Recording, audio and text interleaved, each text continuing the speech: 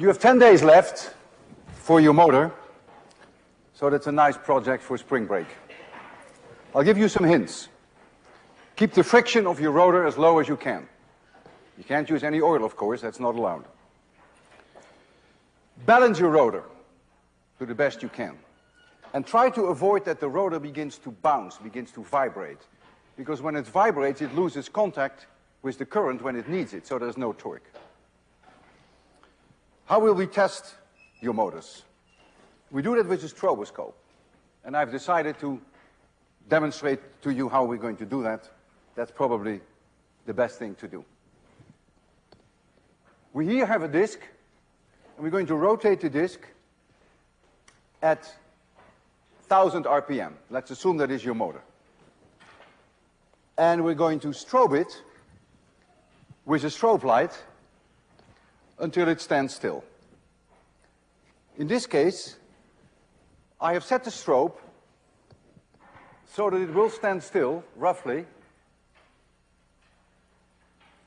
And the strobe is now going at 500 RPM, and the motor is going at 1000 RPM.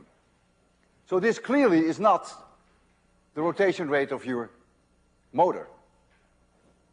In fact, your motor goes twice around between the blinks. And we have no way of knowing that, so we double the frequency. So I'm trying to double it now. Double the frequency of the blinking of the strobe light, and now it stands still again. So now we may think that your motor is going 1000 RPM, but we don't know yet. Maybe it's going 3000 R 2000 RPM, maybe 3000 RPM. So what we're going to do now, we're going to double the frequency. And so we go now with the strobe light to 2000 RPM. And what we see now is we see a double image. So 2000 RPM is out. And any multiple of 2000 RPM is out. So 4000 is out, 6000 and 8000 is out. But what is not yet out is 3000 and 5000 and 7000. So we would have to test for that. On the other hand, I told you already that this motor is going 1000 RPM, so there's no sense us testing that now. But during the actual contest, of course, we will continue all the way until we are convinced that we have the right RPM for your motor. And so that's the way we will do it. We will put a little bit of white paint on one side of your rotor. So that's the way it will be done. Of course, if your motor is highly unstable in terms of rotation rate, it will not be easy to get a right, correct number. I want to talk with you about the heart. The heart, our heart has four chambers. It looks sort of like this. The left atrium and the right atrium. Maybe why this is why it's called the heart. And here is the left and the, and the right ventricle. And here's the aorta. The sole purpose of the heart is to pump blood. About five quarts per minute, which is 75 gallons per hour, which is 70 barrels per day, which is about 2 million barrels in 75 years. And it pumps about 70 times per minute. If the blood to your brain stops for about five seconds, you lose consciousness. So it's five skips of the heartbeat, and you're down on the floor. And four minutes later, permanent brain damage. The way the heart works is absolutely mind-boggling. Extremely complicated. Nature had one billion years to design it, but nevertheless, it's impressive. Each heart cell is a mini chemical battery, and it pumps ions in or out as it pleases. In the normal state, each heart cell is minus 80 millivolts on the inside relative to the outside. There are some cells which are called pacemaker cells. They are located in a very small area, about one square millimeter, near the atrium, the right atrium, and they change their potential from minus 80 millivolts to plus 20 millivolts. Now, why they do that is a different story, which I will not address. Once they go to plus 20 millivolts, the neighboring cells follow, and a wave propagates over the heart. I'll make you a drawing shortly. So the wave first moves over the atrial chambers and then over the ventricle chambers. And when the cells are at plus 20 millivolts inside relative to the outside, they contract. So they form a muscle. The whole heart is one big muscle. And after about two tenths of a second, the cells return to minus 80 millivolts, and this wave goes from below to above. And then the whole thing waits again for another message from the pacemaker cells. Takes about one second, and then the whole process starts all over. Now I want to be more precise. Here is one heart cell. So this is about 10 microns in size. And this cell has 80 millivolts with respect to the outside. So that means it has repelled positive ions. And so the inside is negative, and there is no E field here outside, because if you put a Gaussian surface around here, there is no net charge inside. But there is, of course, a electric field across the walls here, from plus to minus. Now the depolarization, which is the change to the plus 20 millivolt state, starts, and it starts from above.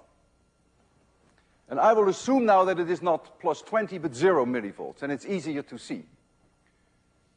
If we have this cell, and the wave is, say, halfway down, and this is now zero millivolts, then there is no longer minus charge here and no longer plus charge here, because zero millivolts relative to the outside world, so there is no electric field across here anymore. So, in other words, what the cell has done, it has moved positive ions back in. But here, the situation is still as it was before. So this is still at your minus 80 millivolts. And if you look now, you have here a minus layer on top of a positive layer. Positive here, minus on top. And that creates an electric field which has roughly the shape of a electric dipole. Has this shape. So as the wave goes through the cells, only then do they create a dipole. And we call this the depolarization. A little later in time, when this wave has passed, the whole thing is plus 20 millivolts. I chose zero here, but it really goes to plus 20. This is just easier to explain. So that means that now the inside is plus, so positive ions are now inside, negative ions are outside, and the E field here is again zero. Now there is the repolarization wave, which comes from below, when it goes back to minus 80 millivolts. And I will again do the same trick that I did before. I will just assume the wave is halfway, that it is not minus 80, but that it is zero millivolts. So there are no charges here, but the charges here are unchanged.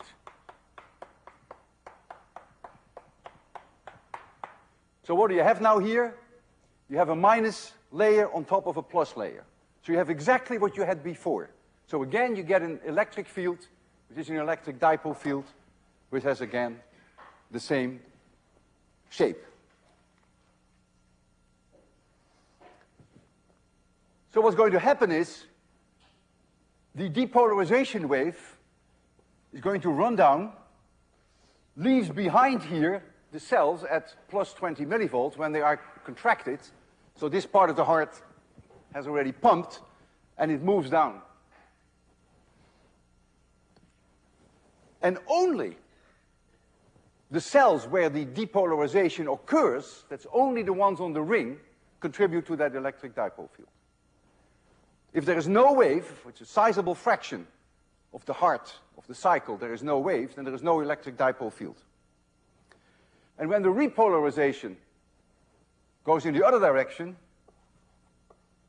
when the heart relaxes because the cells go back to minus 80 millivolts, then again there is an electric dipole field, but only from the cells through which the repolarization wave moves. And you can very easily see that the electric dipole fields of all these cells here support each other. So you get a dipole field from the heart. And so if I make you look at your heart, so this is you, this is your body, your legs, and this is your arms, and here is your heart. And there goes this wave. And so here is your electric field that is generated while the wave is going, either depolarization down or repolarization up. But if there's an electric field, there's going to be potential difference between different parts of your body. If you look here at your belly button and you follow this electric field line at your head, there is an E field. The integral E dot dl gives you a potential difference. And so now you see that there are going to be potential differences between the various parts of your body. And that's the idea behind an electrocardiogram. Typically, there are 12 electrodes attached to arms, legs, head, and chest to get as much information about the heart as we can. And the maximum potential difference between two electrodes in general is not more than about 2 to 3 millivolts. I'd like to show you a healthy heart cardiogram of a healthy person. I have that here.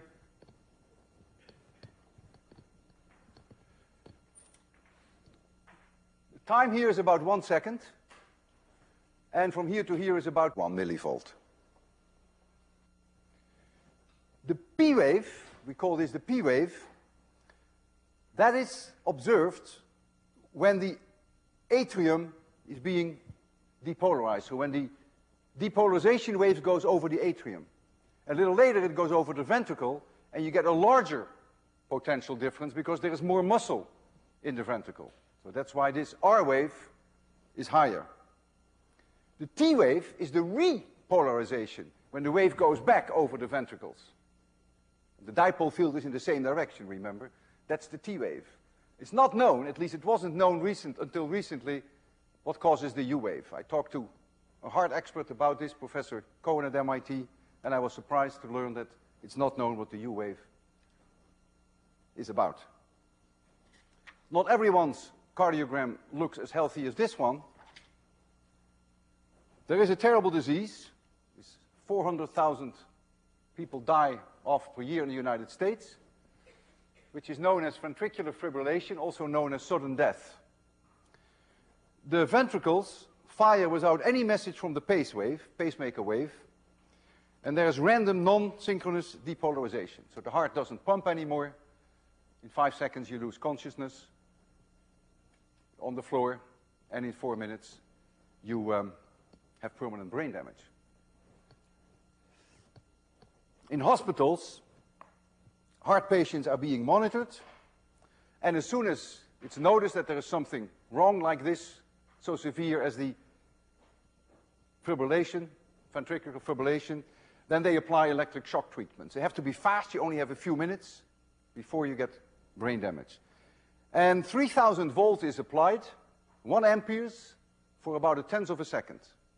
Large plates are being used on each side of the chest. And this, of course, is enough to kill the patient. But it makes little difference because the patients would have died anyhow. Heart patients can also get synchronization problems and then they implant a pacemaker. So it's a circuit. And this pacemaker takes over the role from the pacemaker cells. When the heartbeat rate falls below a certain rate, the artificial pacemaker takes over, about 10 milliamperes for half a millisecond, and it does it 60 times per minute. And so it triggers then the depolarization wave. These pacemakers are susceptible to influences from the outside world, and one person's pacemaker stopped, for instance, every 10 seconds due to a radar sweep from a police car. It's also possible that you get a built-in defibrillator. In other words, a system that gives you electric shocks when sudden death might otherwise occur. So it senses that something is wrong, that the ventricles go into fibrillation, and then it applies all by itself 650 volts, about five and a half milliseconds, up to five to 10 amperes. And that's not enough to kill the patient. And the whole idea is sort of a wake-up call to the heart to get it back into synchronization, to get this depolarization wave being synchronized again. So clearly, I would like to show now a heart cardiogram of a student, and I prefer to have a healthy one to avoid some difficulties. You feel strong? You're a healthy person? You don't mind volunteering? Tight pants. We have to do something about it. Okay, why don't you sit down? well, there's nothing I come in. We'll, we'll, we'll, we'll, we'll find a way. All right, so we have to attach. We don't have 12 electrodes, we only use three. And the first one, that's why I was worried about your tight pants. Can you roll them up a little? Okay. Oh, this one goes here. Let's hope that it makes good contact. Now the others go on your arm, and we need very good electrical contact, and therefore we put some conducting grease on there. We'll make it a little We'll make it a bit of a mess, but we'll give you a chance later to clean up. So let's first put this one. You're relaxed, right? Yes, yes of course. So can you roll up your sleeve there? Very good. And maybe, oh, oh, maybe you can put this over your arm, yeah, over your, yeah, that's good. High up. Oh man, boy, you have muscles. All right, just relax. If it hurts a little, though, well, that's the way it is. We need, we, we need good contact. Okay, now your other arm. Again, a little bit of gooky stuff. Oh, you need another rubber band, so put it around your arm, high up. That's good. Yeah. All right.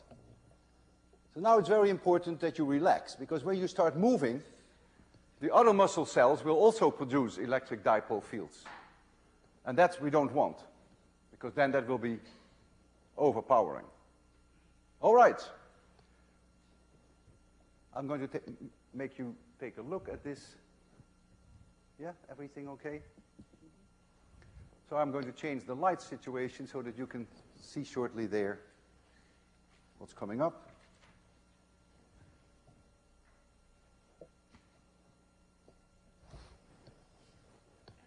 Oh man, what a dark, oh gee, look at this. Oh gee. Oh, look, I see your I don't see your P wave. But you have an amazing T wave, but no, no, you have an amazing R wave. It looks like your R wave is in the wrong direction. but you feel okay though, right? Yeah, I can't see a P wave. Well, maybe some people survive without P waves. it's a, certainly an unusual, an unusual heart. But if you tell me that you're healthy, then I'll take your word for that. I think it would be nice if you show class now, why don't you just stand up for a while, that your other muscles begin to act, and you, they will see then, just stand up, you will see, move a little bit your arms. Move your arms, you see? Now you get the electric dipole field from the other muscles in the body, which contract. this is even more interesting than your heart, man. All right, sit down again and let's take it off. And then you can clean up. Looks good. Yeah heart cardiograms are not so easy to interpret. But I think you're looking fine. And you feel all right, right? That's important. Uh, thank you very much for volunteering. Very courageous.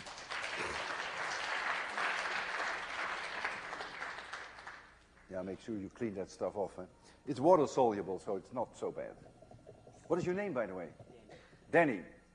You were a great Danny.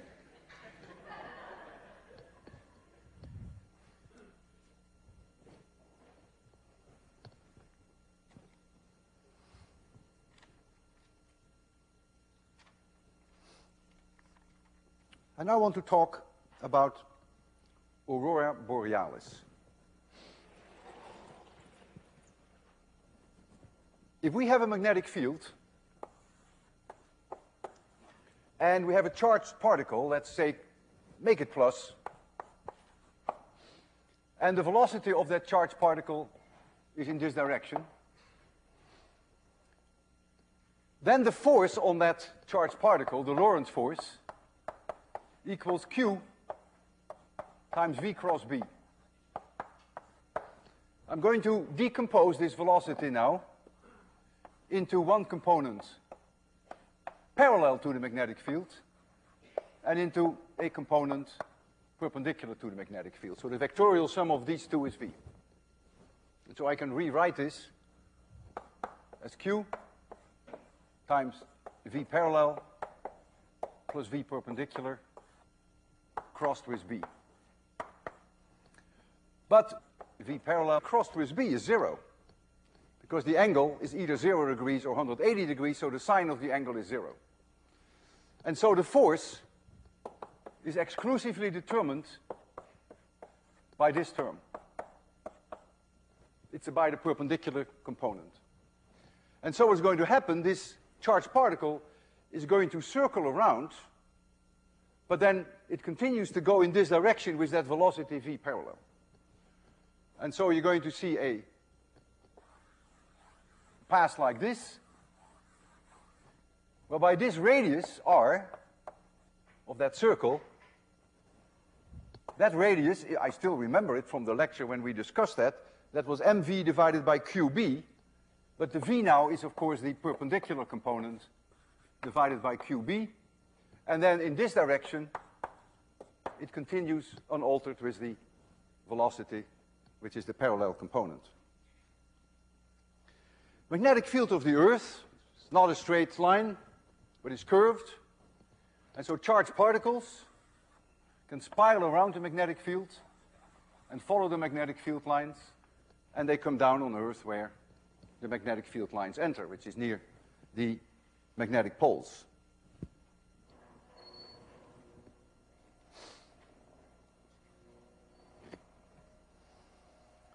The sun emits a plasma Plasma is highly ionized, electrons and protons. We call that the solar wind. Sometimes it's strong, sometimes it's weak. And when it reaches the Earth, it ionizes the upper atmosphere of the Earth, and then it produces light. The light is very faint, can only be seen at night, and that light is called aurora. And we here call it northern lights, but I'm sure that people in the southern hemisphere, they call it southern light. When the sun is very active, it can be breathtaking, really absolutely fabulous. The aurora can change very fast on timescales of seconds to minutes. And it is, of course, strongest near the magnetic poles, and so you rarely ever see it in Boston. It can have very bright colors. Red, green, white is the most common. And the color that you will see depends on the energy of the charged particles as they come in, but also depends on whether the nitrogen molecules in the atmosphere or the oxygen molecules are being excited. Also depends on at what height, at what height in the atmosphere the ionization occurs. I've seen it quite a few times in my life. I did hiking in the Adirondack where I saw it. I've seen it from Calgary in Canada. But whenever I fly to Europe, the flights are always at night, I always ask for a window seat on the left side of the plane, and that's the reason, so that I can look to the north, and a few times have I seen spectacular aurora from the plane. I want to show you some slides. If you visit the 802 website I made some links for you to some fabulous slides of aurora. But now I want to show you a few that I have here. Can I have the first slide? This is um, white aurora, like a nice curtain. Not so uncommon. Can change on timescales of minutes to seconds. As I said, you can only see it at night. It's very faint. The next slide. You see another remarkable example of aurora, white aurora. Strange shapes, very unpredictable. And the moving, it's like looking at a movie when you actually see aurora. The next one is red aurora, like a wonderful curtain coming down. For reasons that are not so easy to understand, maximum light comes from a ring which, is, which has a radius of about 500 kilometers from the magnetic pole. And the next slide shows you a picture taken from a satellite, which is three Earth radii away from the Earth. This is taken in ultraviolet light, and you see beautiful this, this ring. So this radius is roughly 500 kilometers. And here is one of the magnetic poles. I don't know whether it's the North Pole or the South Magnetic Pole. And the next slide shows you something similar. If you look only at these four, they are taken 12 minutes apart, again in UV, and you see here a crossbar. I don't know how to explain that crossbar. It's called theta aurora. Obviously, why it's theta goes without saying, right? Amazing. And this is sort of, these are 12 minutes apart, so that gives you also an idea of how fast this can change. Here it's very dark, and here it's very bright. So the changes are quite dramatic.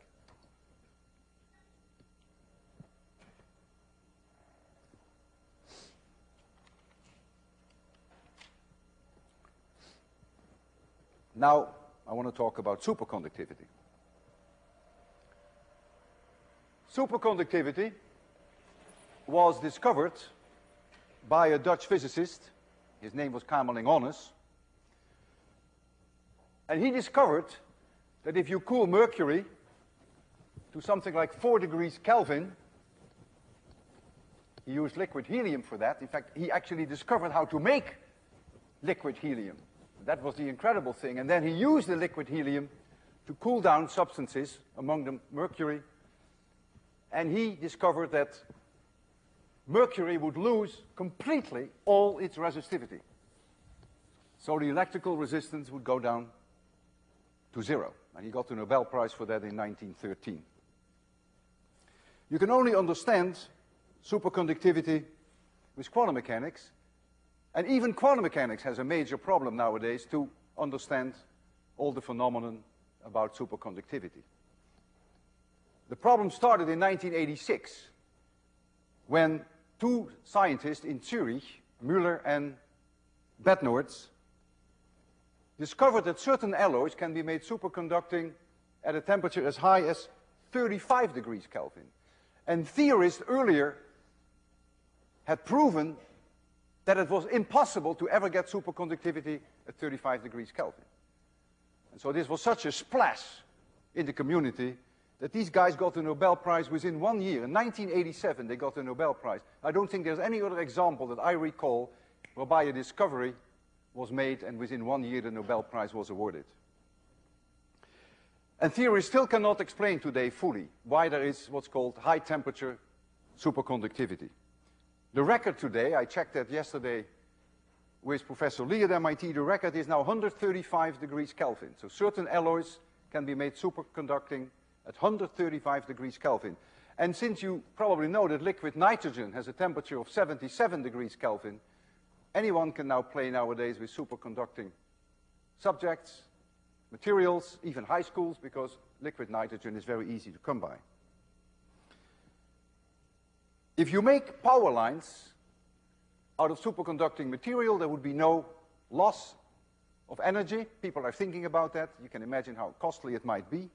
But in principle, you could transport electric energy without any loss, without any ohmic losses. No I square R, because R is zero.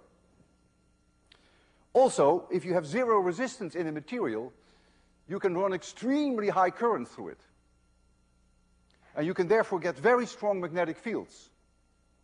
And using superconducting coils, you can get very strong magnetic fields, and these colliders that we talked about earlier, these atom smashers, like we have at Fermilab and in Geneva, they are going to make use of superconducting coils to get magnetic fields as high as 6 Tesla or so, or even higher. No electric field can exist in a superconductor. And you can very easily see that because if there were an electric field, if this is a superconductor and there is an electric field, say in this direction, there would be a potential difference over the superconductor. And Ohm's law, V equals IR, tells you then immediately that if this is not zero, but if this is zero, that I would go to infinity. So you cannot have any electric field in a superconductor. If I approach a superconducting disk or material with a magnet, say this is the north pole and this is the south pole, so we have an electric field configure, a magnetic field configuration roughly like so. If I approach this superconducting material, then the EMF generated in here because of Faraday's law, because there's a change in magnetic flux coming off, that EMF must remain zero, because you cannot have an electric field inside a superconductor. And this, of course, is IR. The R is also zero. So I now can have any value, completely legitimate. So you can have a huge current inside a superconductor, but no EMF. And so as you approach with this magnet, eddy currents are going to run inside the superconductor in such a way that d phi dt, the flux change in here, is always zero. And so these eddy currents will flow to never allow any magnetic flux because there was no magnetic flux to start with when the magnet was high up, so there can never be any change. And so the eddy currents create a magnetic field themselves, which if you vectorially add them to this magnetic field, will always make sure that there is no net magnetic field inside the superconductor. And so if you now make a drawing of the of the two fields, the one that is produced by the eddy currents and the one that is produced by the magnet, when the magnet comes very close, so here is north and here is south, and here is your superconductor, then the superposition of those two fields then effectively comes down to the fact that this magnetic field is completely repelled. It's another way of looking at it. You get a squeezed field here. But that is the superposition of two magnetic fields, one produced by the eddy currents and one from the, the magnet. And whenever you have here such a squeezed magnetic field, there is magnetic pressure.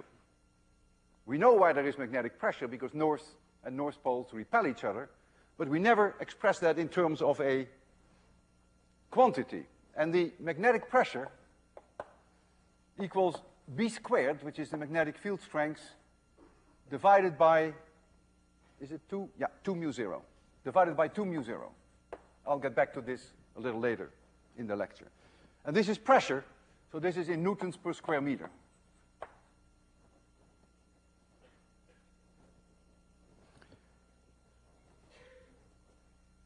This is not entirely new, this idea of pressure, because you may have seen at people's desks nice conversation piece. You have here a, a magnet, and you have here a magnet, and this is a, a wooden stick. There's a hole in here, and there's a hole in here. This is North Pole, South Pole, North Pole, South Pole, and they repel each other. That's magnetic pressure. It's the same thing. And if you drew the magnetic field configurations here, go like this. That's the magnetic field from this magnet, and this would be the magnetic field from that magnet. You get the same idea. You get magnetic pressure there.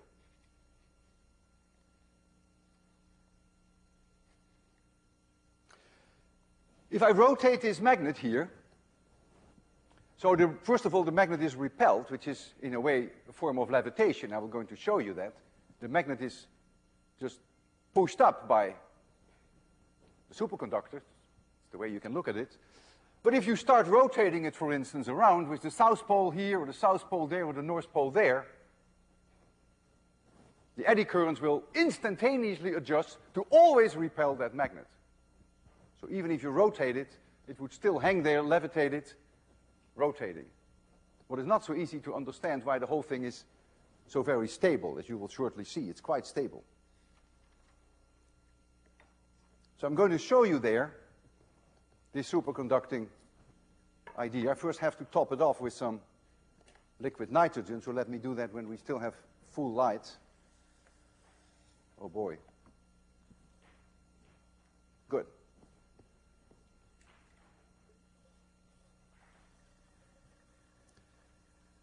So I have to top it off. And this disk, which is about an inch in diameter, is going to be superconducting. I can even tell you what kind of material it is. It is a copper oxide mixed with yttrium and barium, and it becomes superconducting at 90 degrees Kelvin, and liquid nitrogen is 77 degrees. So we're going to put a small magnet on top, which we will levitate. And for that, we're going to have the following light situation. And, of course, you want to see it also, don't you? And you want some light.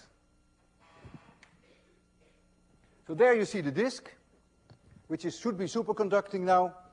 And here comes my little magnet, so there is no magnetic flux going through there. It itself is not a magnet. But now I'm going to come close with a magnet, and the eddy currents go nuts in there, and it just floats on top. It's amazing, isn't it? So this is magnetic levitation, and you can rotate it around, and the eddy currents adjust instantaneously. And there it is.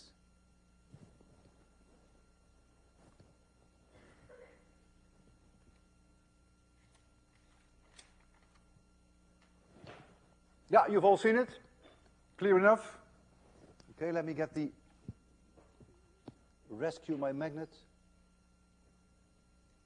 Imagine in the days of Kamerlingh Onnes, took four degrees Kelvin to have anything superconductive. And now you can do it as easy as that. There are other forms of magnetic levitation. One is going to be very promising in our economy we hope. And that is magnetic levitation can be used for trains. If you have a magnet and you move it fast over a conducting surface, then you also get levitation. You have to move it though. Whereas there you don't have to move it. You see, if you let that magnet just go, if you don't move it anymore, then there is an eddy current going on. But the eddy current never dissipates any heat. There's no I square R because R is zero. So you never lose the eddy current. That's different with what is coming now. Now I have a, a magnet. Here is north and here is south. So we have a magnetic field sort of like this. And I'm going to move it over a plate over a conducting plate. And I'll put the plate here. And as it comes over this conducting plate, the magnetic flux through that plate will change. Mr. Faraday, says, actually it's Mr. Lenz who says, I don't like that. And so they're going to run an eddy current in here, and the eddy current will undoubtedly go in this direction as it comes over here. And this current ring now will produce a magnetic field in this direction.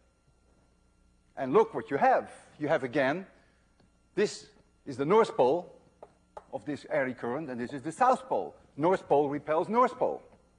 And so if this has a high enough speed so that the change of the magnetic flux, the d phi dt, is high enough, the train can float. Tens of tons of weight can be made to float.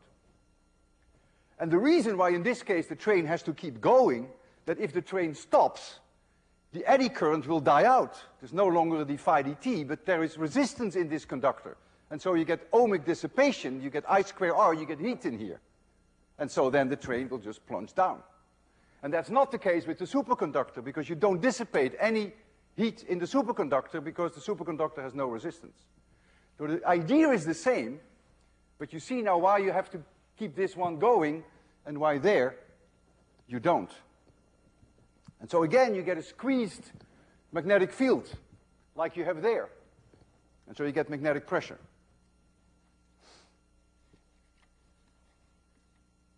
Japan and Germany are really the leaders in the world in the technology of uh, maglevs, that's what these trains are called. The United States is trying to catch up. There's an enormous reduction in friction if you can have a train that is not in contact with the rails. In fact, speeds have been recorded up to 340 miles per hour. Both Germany and Japan have test trains, prototypes in operation. The United States has made a commitment to build a maglev train to go from Washington, D.C. back and forth to Baltimore, should be ready in the year 2007. The costs per mile are about $30 million per mile. Now that may strike as high, but keep in mind that if you build a four-way highway, that's also $30 million per mile. So it's no more expensive than a four-way highway. And again, when you visit the 802 website, I made several links to maglev sites. I advise you to take a look. Now there is a third form of magnetic levitation, whereby we don't need any speed and we don't need any superconductors. But we use AC, we use alternating current. And that's also easy to see now. Here is such a coil, and we run AC through it. So at one particular moment in time, let's say the magnetic field is like so, and maybe is increasing. Then, of course, the magnetic field turns around, up, down, up, down, because it's AC. And now I have here a conducting plate. And I put this above this plate. But now I have this continuous magnetic field change. So I have a continuous change of magnetic flux in that plate. So as this magnetic flux, as the B field down is increasing, you're going to get an eddy current running in this direction, which will create a magnetic field in that direction. And you're back where you were. You again have North Pole, North Pole, South Pole, South Pole.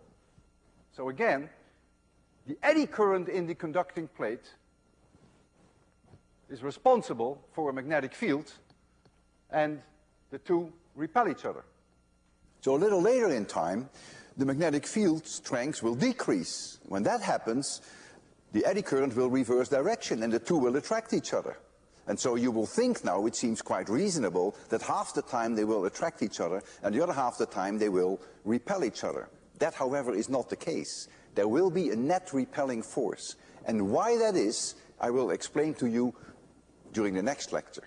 But I want to demonstrate it now. I have here such a coil, about an area of about one square foot. I can simply run 110 volts, 60 hertz AC. If I switch this turn this on, just goes into 110 volt outlet, and I increase the current, starts to float. No high-speed train, nothing superconducting. What do you think will happen when I turn it over? Excuse me? Of course it will float again. The, ed the eddy currents just adjust themselves at any moment in time, and they will always make it float. So this is another interesting form of magnetic levitation. So we have the superconducting way, whereby there is no dissipation in the disk. So those currents never die out. Then you have the case of the train. If I call that the train, the magnetic levitation, whereby you have to keep the speed going, because if you don't have the speed, then you don't have enough magnetic flux changes in the surface, and so you don't have the eddy currents. The eddy currents would die. You get heat dissipation. And then there is the third case here, whereby you simply have a changing magnetic field in the coil with AC, which then creates a changing eddy currents. So now we come to the levitation of a woman. How do we levitate a woman? Well, the secret must be in that equation. P is b squared divided by 2 mu 0. We have a coil which is about one square foot, so the area of that coil is about 0.1 square meters. And so our goal was that we should be able to lift, let's say a 200 pounder, to give ourselves a little bit of leeway. And so we calculated that if the magnetic field, B, is about 1500 Gauss, which is about 0.15 Tesla, that we would get very close. We know that mu zero is 4 pi times 10 to the minus 7 in SI units. And so you can calculate now what the force is on this area. The force is, of course, the pressure times the area, assuming that the magnetic field is uniform. And so you're going to get that this force is going to be b squared, which is 0.15 squared, divided by 2, divided by 4 pi, times 10 to the 7th, multiplied by the area, which is 0.1 square meter, and you find that this is about 900 newtons. 90 kilograms. As I said, a 200 pounder.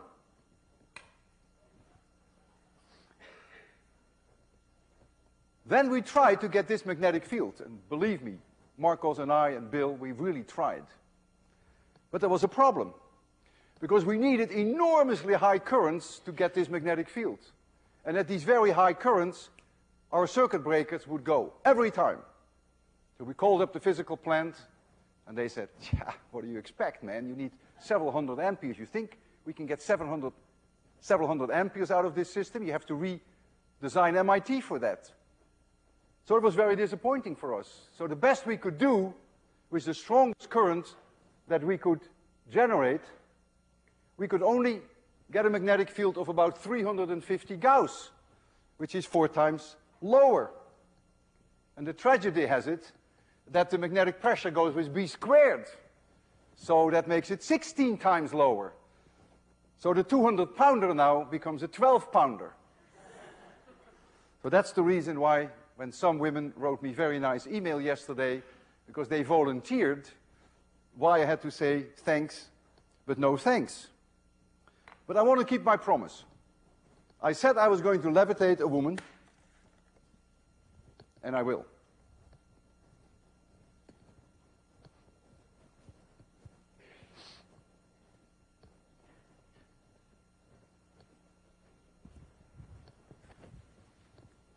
And here she is. And as far as we know, it is a woman.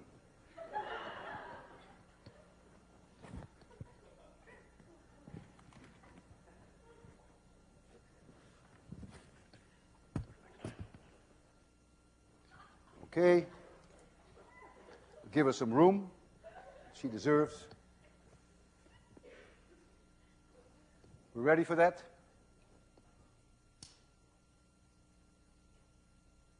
There she goes. I levitated a woman. Have a great spring break.